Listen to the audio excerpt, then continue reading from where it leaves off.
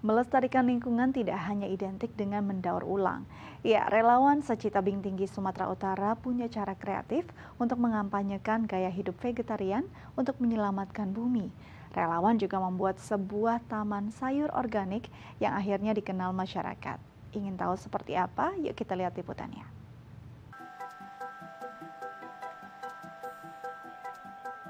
Tidak hanya melestarikan lingkungan dengan memilah sampah daur ulang, Relawan Seci Tebing Tinggi Sumatera Utara juga punya cara kreatif dalam mengampanyekan gaya hidup vegetarian untuk melestarikan lingkungan. Taman ini bukan sekedar taman hias yang memperindah kantor Seci Tebing Tinggi. Ada ratusan sayur organik yang sudah ditanam dan tumbuh subur. Relawan Seci mengampanyekan gaya hidup vegetarian yang berawal dari bahan pangan organik yang sehat untuk dikonsumsi. Selain itu, media tanamnya juga didapat dari barang bekas yang masih bisa dimanfaatkan kembali.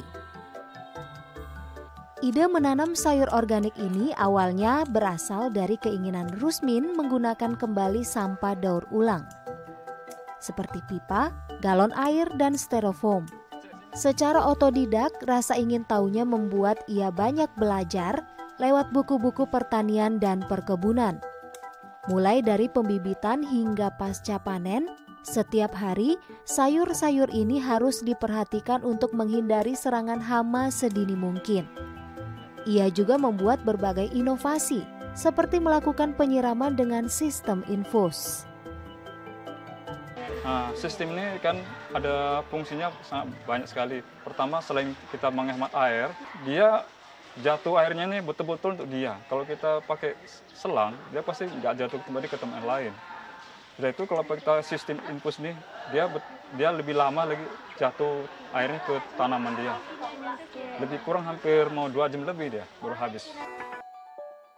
Sayur organik adalah hasil dari penanaman yang tidak menggunakan bahan kimia seperti pestisida ataupun pupuk buatan.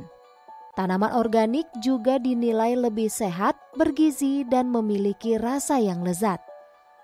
Selain dibagikan kepada warga, sayur mayur ini juga dijadikan bahan memasak para relawan. Berkat ketekunan Rusmin yang dibantu oleh relawan lainnya, kini taman sayur organik ini menarik perhatian masyarakat. Salah satunya Samira, warga tebing tinggi sekaligus pelestari lingkungan Seci yang terinspirasi membuat sayur organik di rumahnya.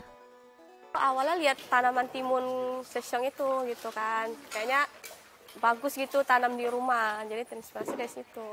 Ya kayak gitu terinspirasinya kayak enak gitu bisa petik sendiri di rumah gitu, jadi nggak kalau beli, beli di kedai lagi.